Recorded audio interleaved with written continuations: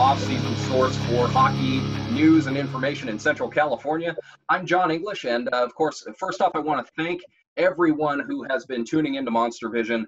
Um, every episode is is growing, and uh, we uh, we cannot do what we do without you. So, of course, we want to suggest that uh, if you're following us on social media, keep doing that. Like our posts, share them, subscribe on YouTube. Uh, you know, tell a friend. All of those great uh, things help us to continue doing what we're doing. Uh, we've got a lot for you coming up uh, today on the program, including a visit with the Monsters Roundtable. But first and foremost, I want to welcome our guest this week. Uh, welcome to the show, the director of hockey for the Fresno Junior Hockey Club and Fresno Falcons legend, Jeff Ferguson. Jeff, how are you doing? I'm good, John. Thanks for having me. Well, thanks so much for taking the time. Uh, first off, you know, crazy times we're living in. How are you? How's everyone around you? Everybody safe, healthy? So far, so good. Um, I'm lucky. I'm still able to still able to work and and uh, I don't have to like I say a lot of folks have been laid off and what have you so I'm I'm lucky that way and fortunate everyone's safe. I feel bad for the kids though. They're probably driving their parents crazy and going nuts themselves but other than that everything's okay. Right. Very good to hear it. Um, of course you've got a lot of history here in Fresno and we'll get into that a little bit later on. Uh, but let's talk about the present. Uh, you have been instrumental in heading up youth hockey in the Fresno area. Uh, talk a little bit about what you've been doing recently. Well, I mean, obviously things have changed. It's been tough, but I think you know the the junior hockey club took took over the youth hockey back last year, back in September officially. Um, and when I stopped playing, I was involved a lot. So I was involved for about three or four years, maybe five years when I first retired from hockey. Then took a break and then came back again. Uh, a friend of mine, Bill Ferguson, the got me back into coaching about three years ago. And then, you know, when it turned out that the, the club was going to take over the youth hockey program again, um, you know, they needed someone kind of to head it up and, and start uh, trying to promote hockey in the area. And really, it's it's a, it's a bit of a harder sell. I mean, we had a we were fortunate to have the Falcons here for years, and a little easier to get um, some attention or some excitement about hockey when you have you know four, five, six thousand people down at Selland Arena. So it made it a little bit easier back then little tougher now, you know, with with the.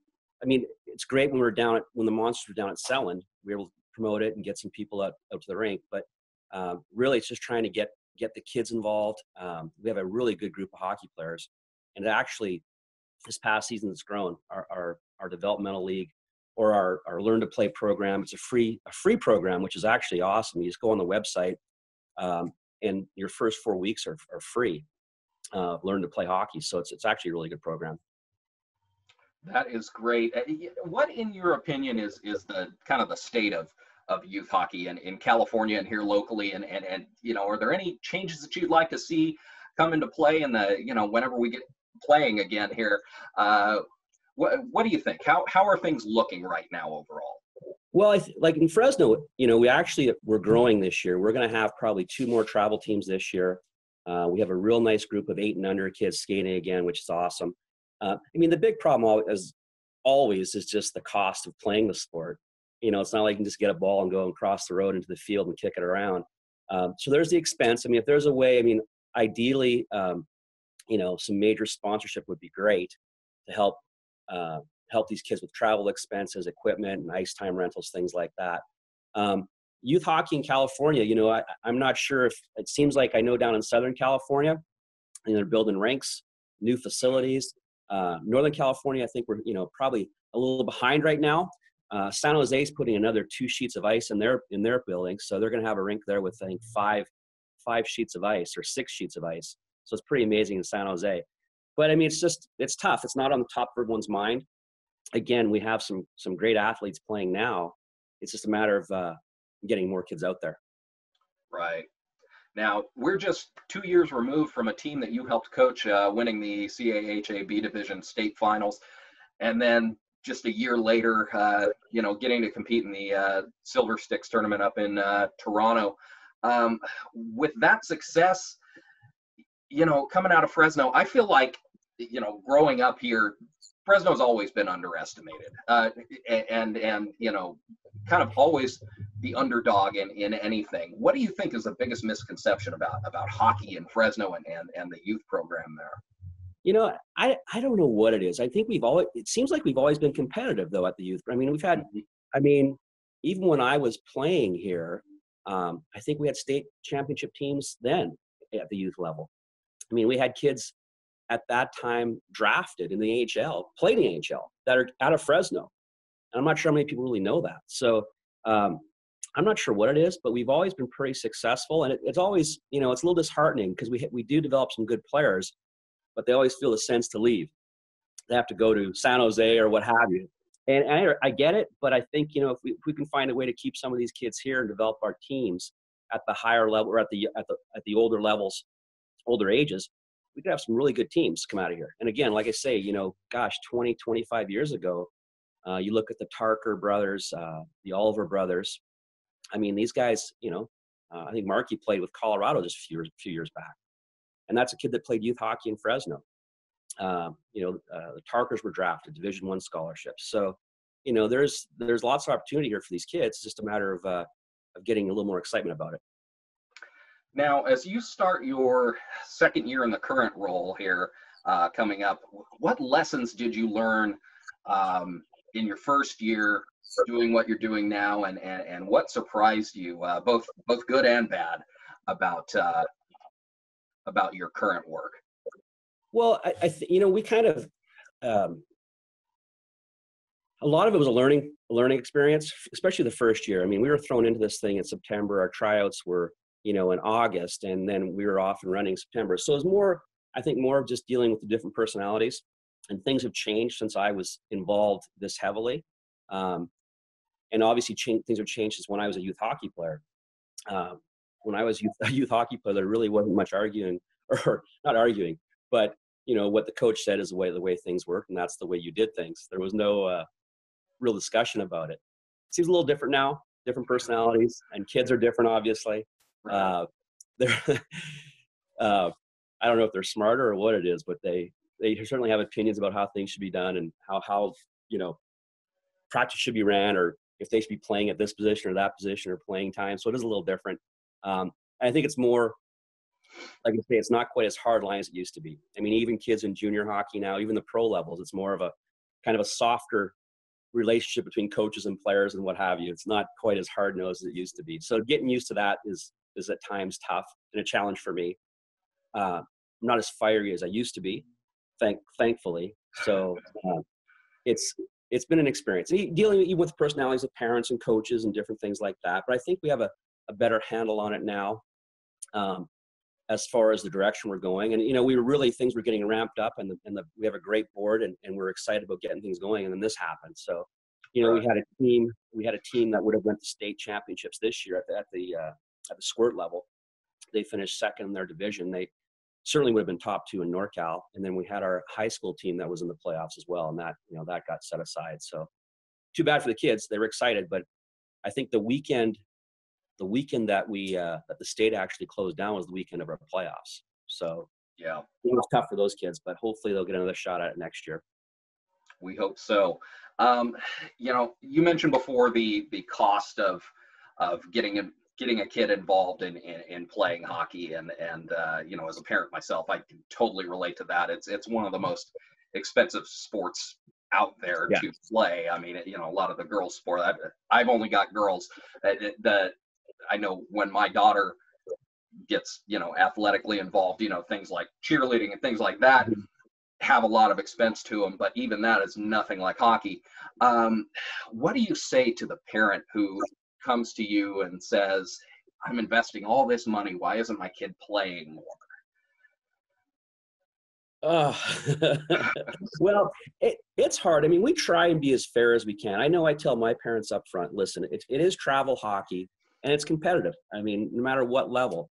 But I, as a coach, I, I think there's ways, as, I mean, all coaches, we can find ways to play kids. Now, listen, you know, your kid may not play the last three minutes of the game in a tight game. But there's games where we're winning by a lot where he'll get more ice time. So I try and tell my parents that up front. Listen, it may not be fair on during this game, but we'll make it up to him somewhere else. Because um, ultimately, you're still trying to win hockey games. Um, right. And I know it's, you know, yes, it's there's an expense, and you travel and may not maybe not see the ice a whole lot, but there are times where you're going to see it more.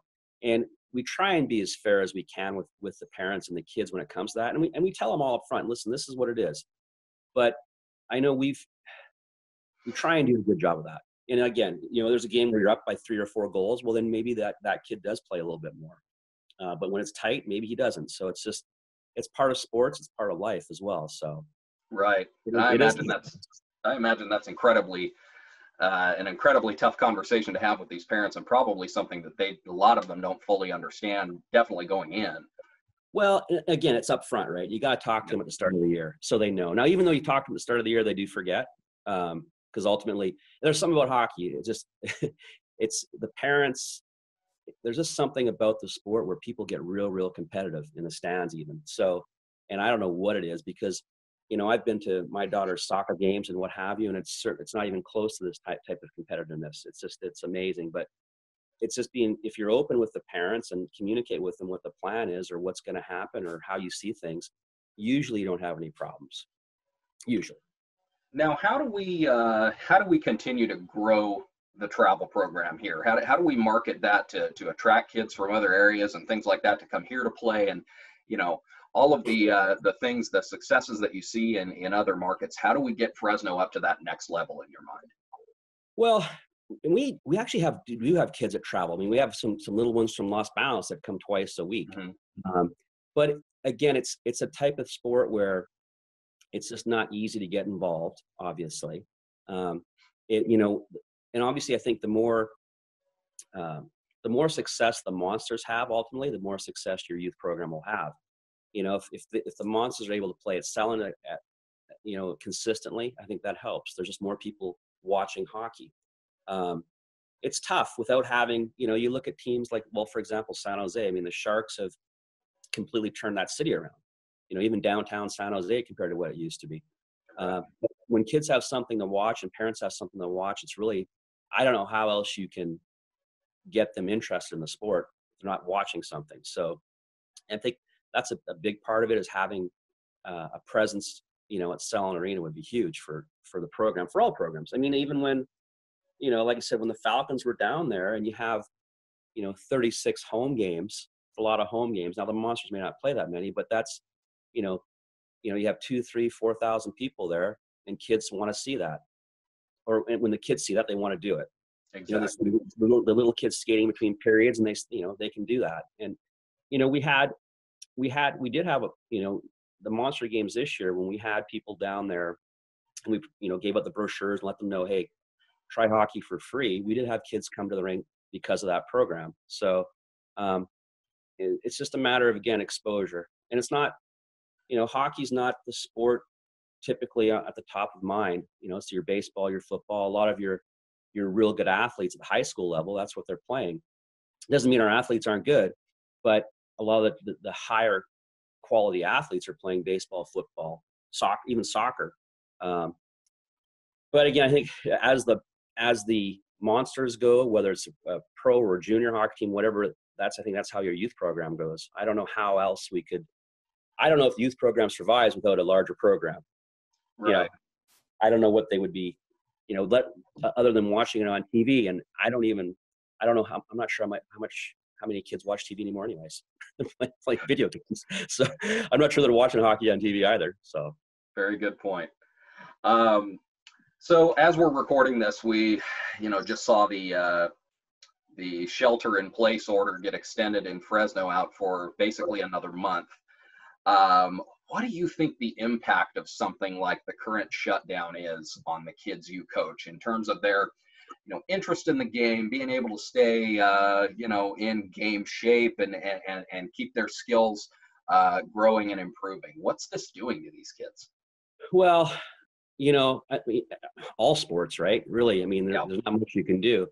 I know. I mean, I've had a couple parents reach out and they're showing they're showing pictures of their kids shooting pucks out in the backyard and what have you, which is great.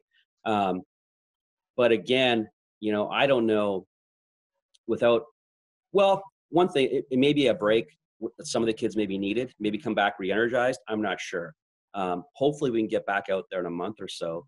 But it's hard. There's nothing that compares to really skating as far as keeping in.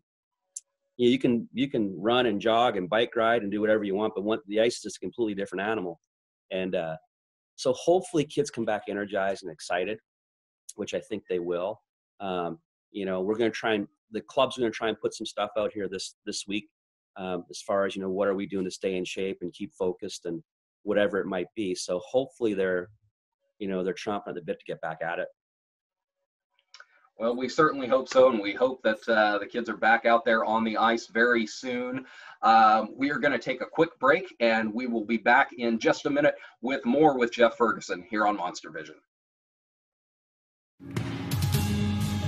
Goals. Assists. Save percentage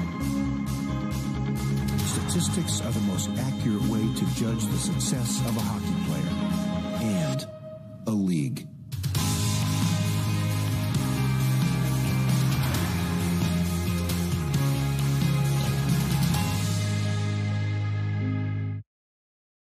And welcome back to Monster Vision. We're here with Jeff Ferguson. Uh, Jeff, let's talk a little bit about your your Fresno roots. You first came here back in around 94 and you, you, were really one of the guys who ushered in the, the wchl era of the falcons. Talk a little bit about coming to fresno how that came about and, and your early impressions of, uh, of the city and playing here.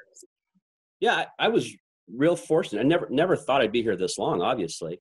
Um, we uh, john olver I had a friend of mine who I played against, didn't play against him. He coached when I was in the Western League. John was a coach in Tri Cities. I was in in Spokane at the time, so I knew John, and uh, and a friend of mine was was working with him down here and starting this develop this league, and I got a call um, over the summer saying, "Would you like to, you know, would you like to play in Fresno?" And I wasn't playing. I wasn't signed anywhere. I wasn't going to play. I was actually coaching. Um, I was getting set to coach. Uh, uh, a AAA team in Calgary at, at the midget level. Um, and I started skating with the national team a little bit uh, that summer as well, with no intentions of really playing. They they needed a goalie, so I was there for a few weeks, and then came down here. And, and John was listen, we're trying to develop a league here, um, you know, West Coast league. And I said, well, you know, I'll come down for a year and, and we'll give it a run. And then, you know, 25 years later, I'm talking to you. You're on the patio.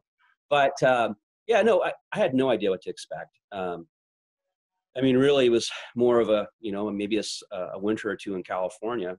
And, uh, but I've, I mean, the fans were great. The building was great to play in, and uh, you know, fell in love with the place as a lot of guys have. There's a lot of guys that stay, stuck and and stayed here in Fresno after they played, and uh, I really enjoyed it. I mean, you know, we've we've played other places, and I've played other places, but there's always something nice about coming back to Fresno going down 99 and coming back, or was a little quieter and and uh, you know still has there's a big city. It's a big city, but not you know you pretty well can get around easy enough and and uh, it seems like anywhere you go you bump into someone you know so it's that's nice too but but i i've thoroughly enjoyed it and again you know playing downtown was great and, and the fans were great and, and, we had some pretty good teams and that always made it enjoyable as well and some good guys as well to play with there so yeah quite the experience now you were in RHI at the time too, right? Uh, somewhere around there, you started up. Yeah, we were real. I got my T-shirt. On. Yeah, it's, a, it's a relic.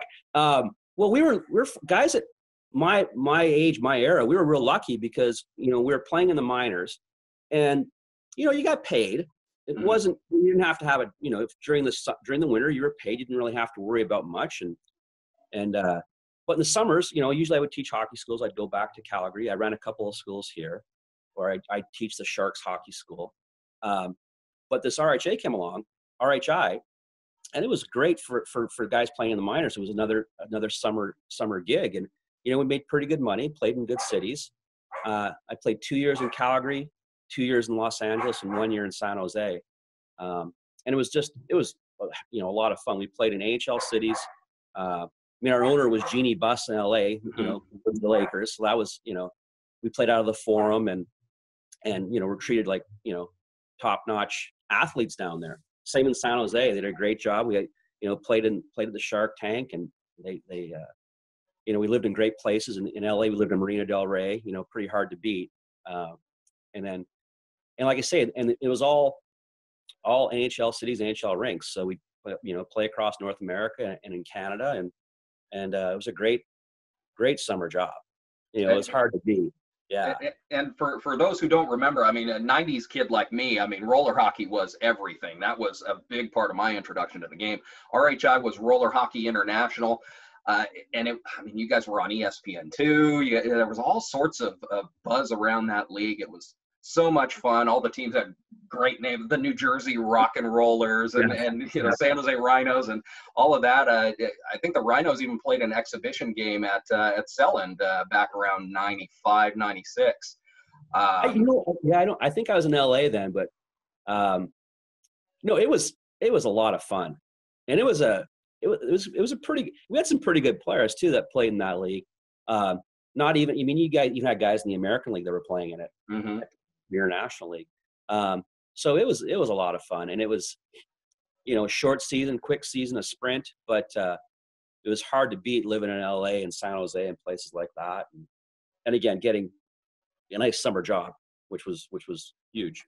Uh, was that tough playing kind of year round double duty like uh, you know as opposed to you know what you might have been doing before i mean i know everybody stays in shape in the off season but that had to be kind of a different level well it was that we had about a month off between seasons and then about a month off at the end. Uh, maybe three weeks off. Um, but it was great. I mean um, again to, to, to go to the rink every day even in the summer um, and still you're working out and you're you're staying in playing shape it was it was great. And it was a different sport too. And being a goalie was even harder in that you couldn't really slide and mm-hmm. so you had to be you know a little smarter a little quicker uh, but it was you know, it, we were just so fortunate. Guys, like I say, guys around that era at my age that were playing in the minors at the time, for that to be there, I think it was there for about six years. I think, I think right around 2000 was the last year of RHI, I believe. But it was, uh, yeah, it was fun. It was a lot of fun. For anybody in our audience who hasn't uh, ever seen RHI, just search it on YouTube. There's a there's a few games up there. It is a really uh, unique thing to watch if you've never seen it. Uh, definitely check that out. Um, what are your some of your favorite memories from your playing days here with the Falcons? Uh, you mentioned you played with a lot of great guys. Uh, what are what are some of the moments that that stick out to you? Well, I, I,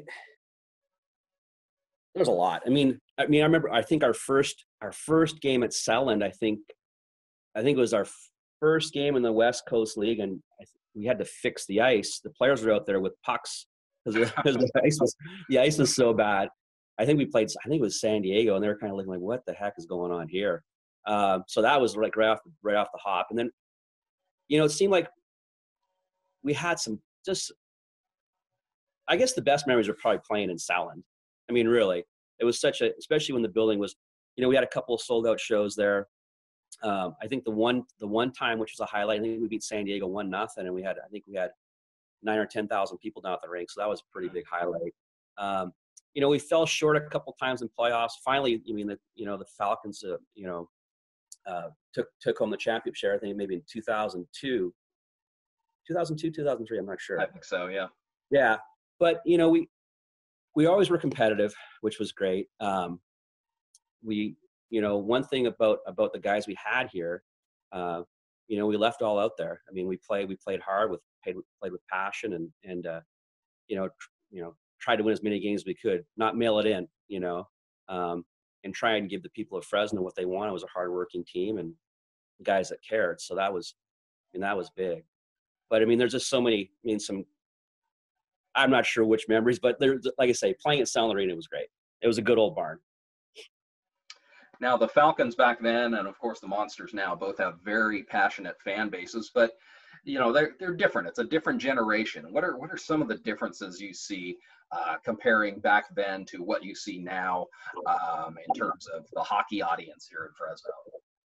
Well, again, I just think it's a matter of of uh, well, the hockey's changed too.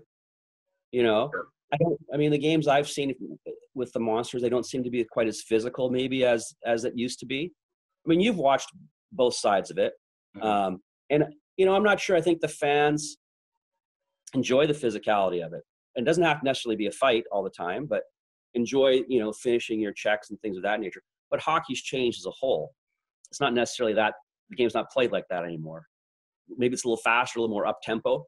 Um, there's not quite as much body contact, and I'm not sure. Again, I'm not sure what the fans expect when they go to a Monsters game compared to what they used to go to games. So that part's different. But, but again, it's it's just a matter of getting the fans down there. The games I've seen with the Monsters um, this year means some real good games. You know, uh, exciting games. It's just a matter of getting 4,000 people down there. You know, and how do we do that? I don't know.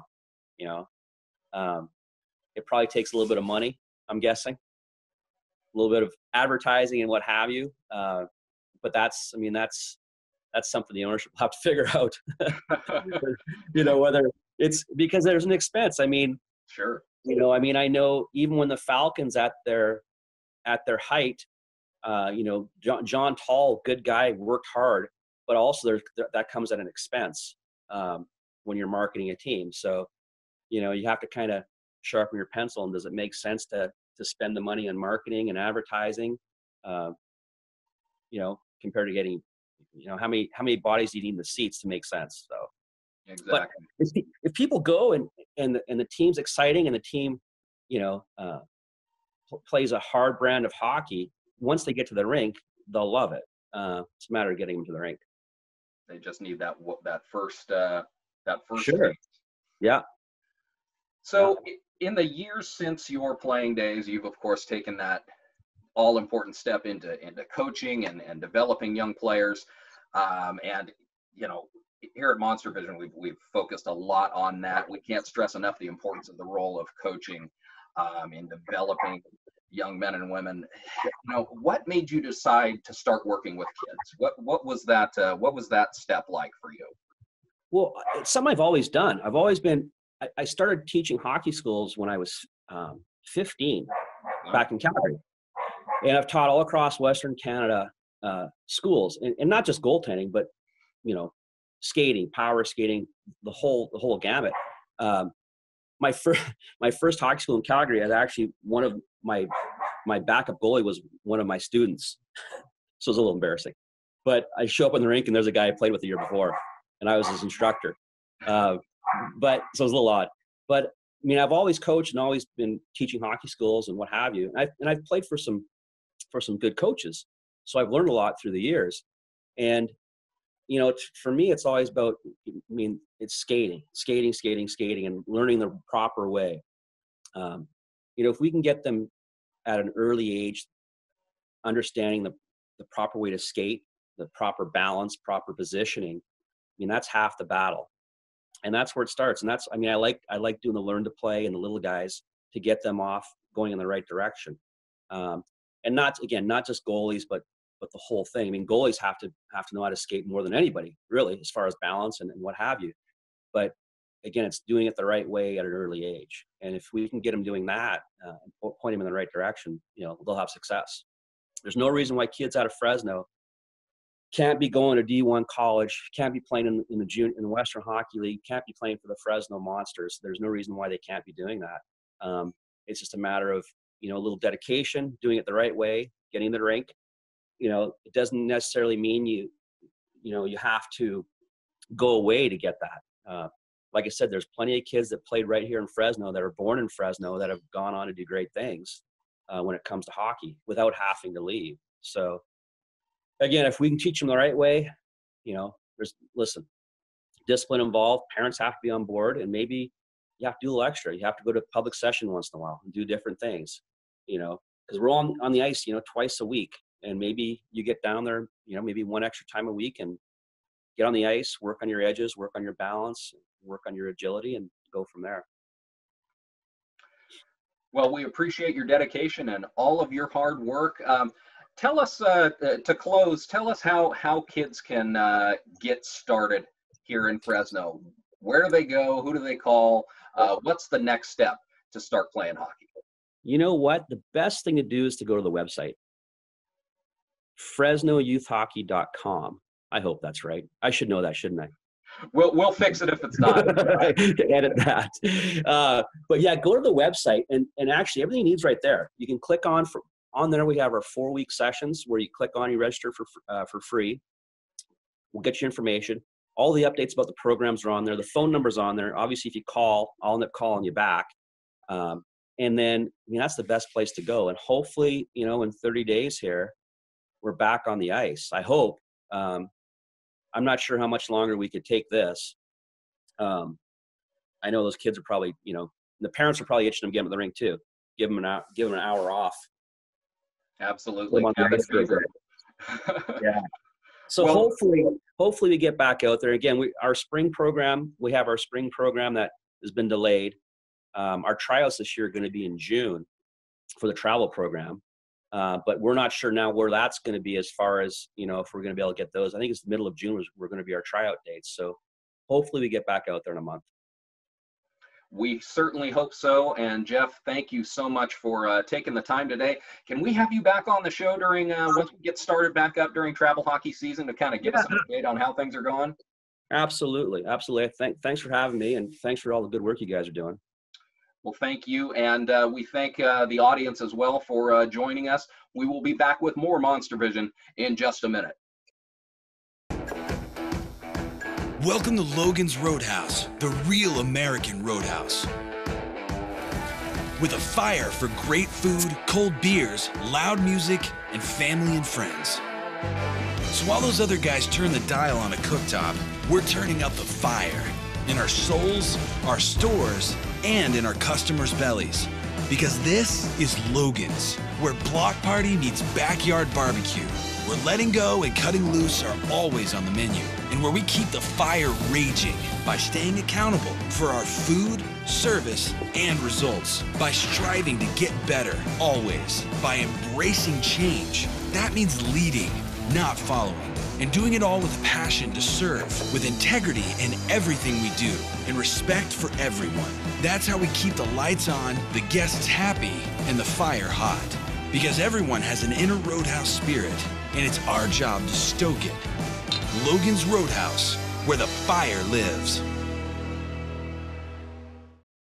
And welcome back to Monster Vision. Uh, John English here with Kala Mullaney and Brian Rivera back for the Monsters Roundtable. Uh, guys, how are you guys doing uh, today? Uh, are, are you trying out for uh, for a new Vegas show or? Uh... Uh, I'm just channeling my inner Polynesia, uh, homesick. So I gotta keep it as much Hawaiian as possible, I guess. I don't know how you're gonna follow that up, but how are you this week? I'm doing all right. Yeah, I'm kind of hoping here. We looks like we're gonna. Well, we just got told another month of quarantine, but hopefully, slowly here we start getting back to normal. Indeed, the uh, the shelter-in-place order being extended out to the end of May, as we're uh, that's relatively new news as we are recording this. Uh, we had a chance to talk to Jeff Ferguson uh, this week. Uh, guys, what did you think of what uh, what he had to say? you know, always a, a, great guy to to talk to, and and so engaging and enthusiastic about hockey in Fresno. I thought he did a great job. He, um, you know, was pretty straightforward with what the facts are, and unfortunately, it's it's a rough pill to swallow. You know, as far as numbers and what we have to do to get uh, kids involved. But I guess if um, he didn't do it, he wouldn't love doing it. Yeah, exactly. I think the big thing about keeping the numbers uh, uh, here in Fresno is, is basically retention. Um, we, in order to to grow, we have to maintain the retention uh, we tend to lose a lot more kids once they start hitting the Bantam age right after Bantams. Uh, they want to move on to what they think Bakersfield or Stockdale will, will field a, like an eight an A team.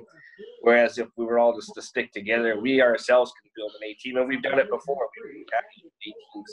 Uh, uh, what, what, are we what are we missing here exactly? As far as uh, you know, what, what are the steps that that that our youth programs need to take in order to to keep those kids? That's the million dollar question. Uh, it just I don't really know. I've been involved with the youth hockey for about five or six years now, uh, my, since my son started playing, and it is it's hard to do. Uh, they think that the grass is greener. Uh, some end up returning back, some stay there.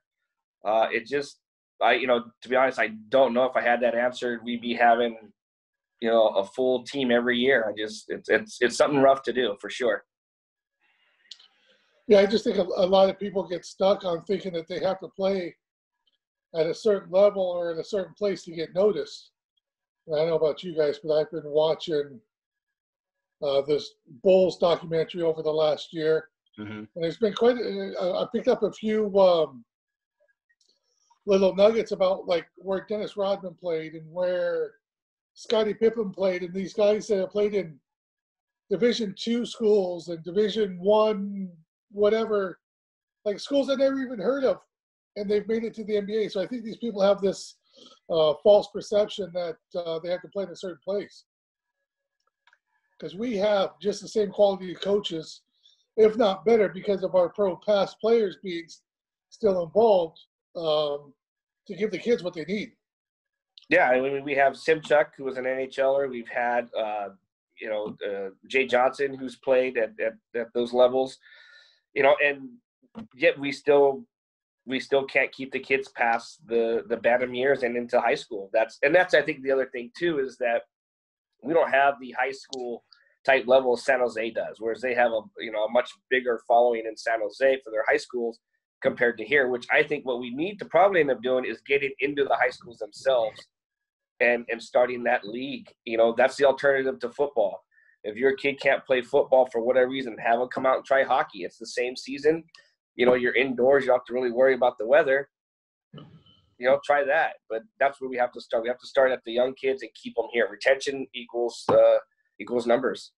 Well, and and two, I think you know one of the things he brought up was the the learn to play program, and and I think that's going to, you know, we're not going to see the immediate results of that for a number of years, but I, I think that is something that is going to have an impact in, in terms of the long game here, as far as you know, you're introducing kids to the sport without that you know necessity of so much of an investment on the front end from the parents. I mean, they can give it a try for a little bit, and and you know, with the equipment being provided and things like that, um, you know, kids getting a chance to learn the game without parents having to spend hundreds of dollars.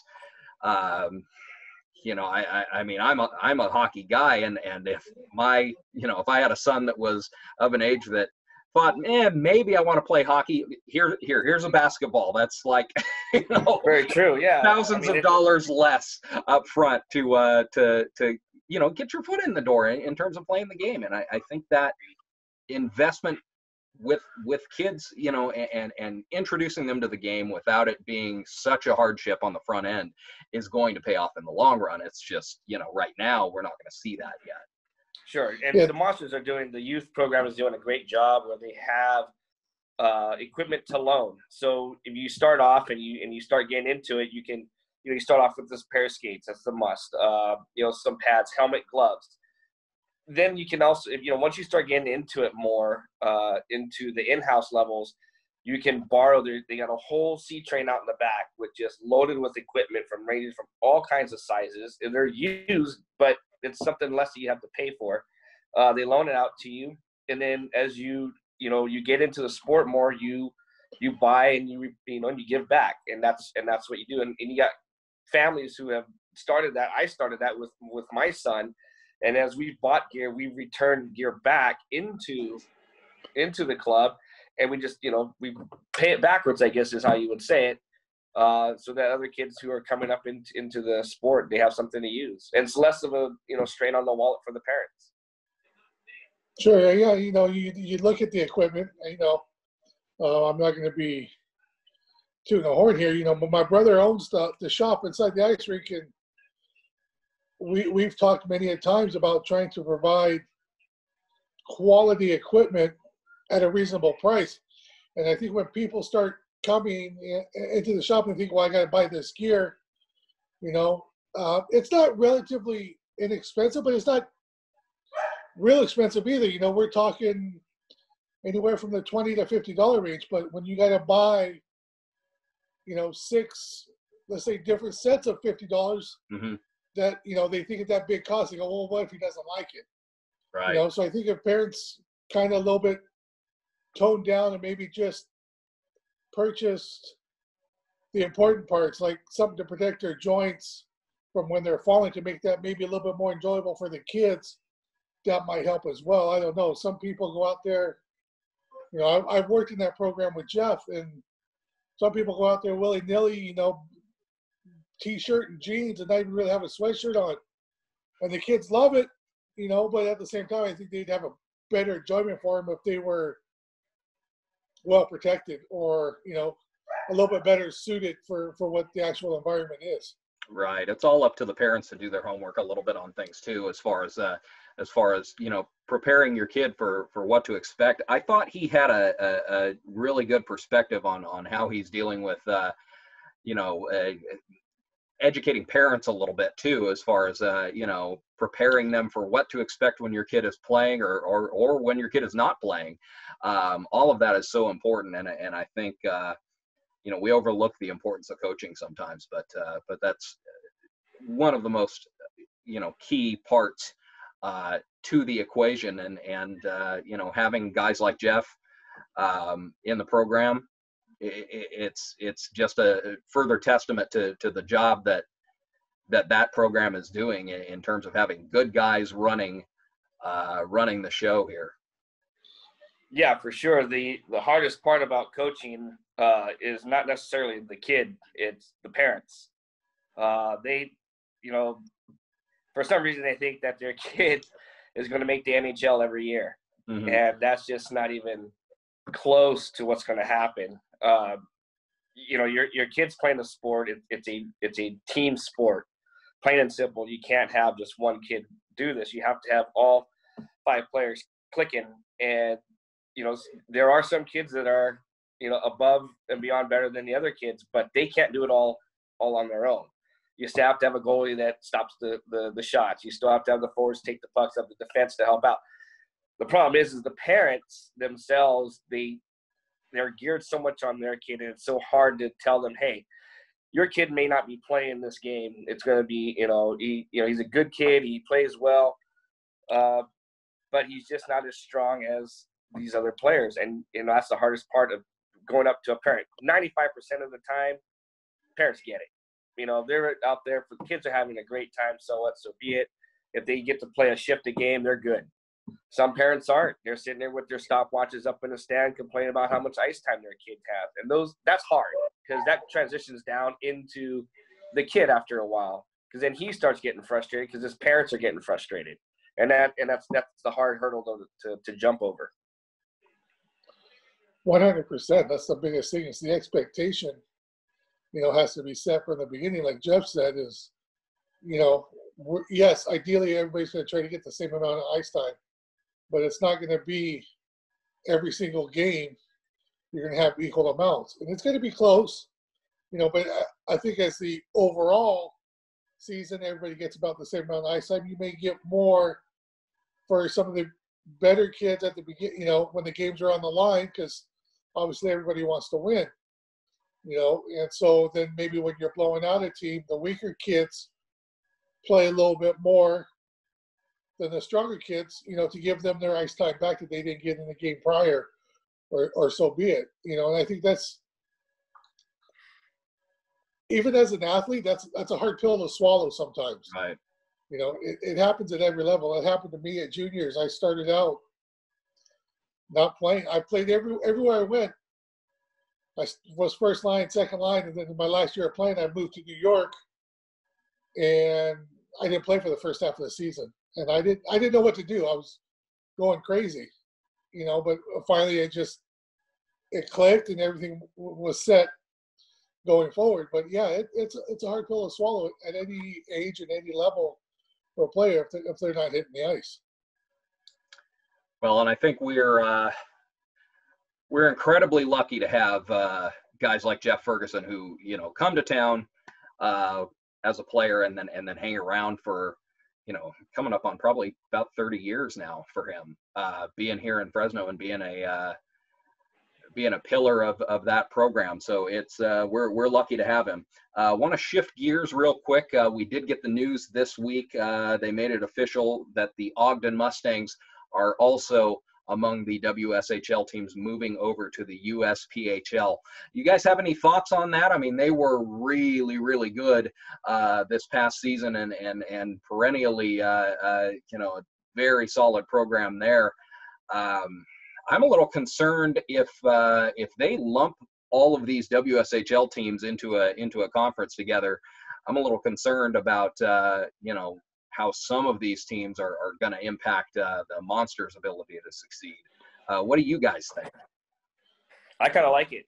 Uh, the reason being, it kind of brings a sense of legitimacy to what we're bringing into the USPHL. Uh, you know, we we want to have a good bunch of teams coming in uh, to show that hey, you know, we're we're legit bunch of uh, teams coming into this new league. So I like it, and in this, you know, and then it's going to make us, the monsters, have to really think out the off season. You know, who what kind of players we want to have, so that we can compete with Ogden and and those teams such as you know like Colorado. That I mean, that'd be the the way to go. I think. I think that that should work in our advantage. Well, absolutely. It's like when the Monsters first joined the Western States League. You know, and Idaho joined the league, and they were brought. Um, they brought a very competitive team in with the you know the same time the Monsters did, and you know it, it was a good a good rivalry to have. You know, one year the Monsters would go play up there.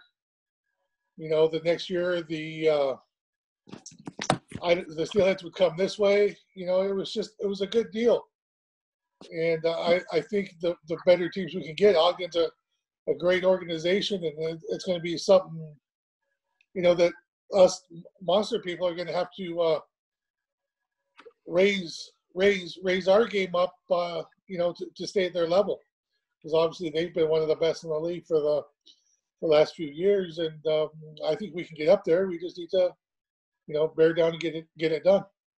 Definitely forces uh, our guys to, uh, you know, increase their increase the the ability to bring in uh, those talented players and uh, you know up their scouting and everything else.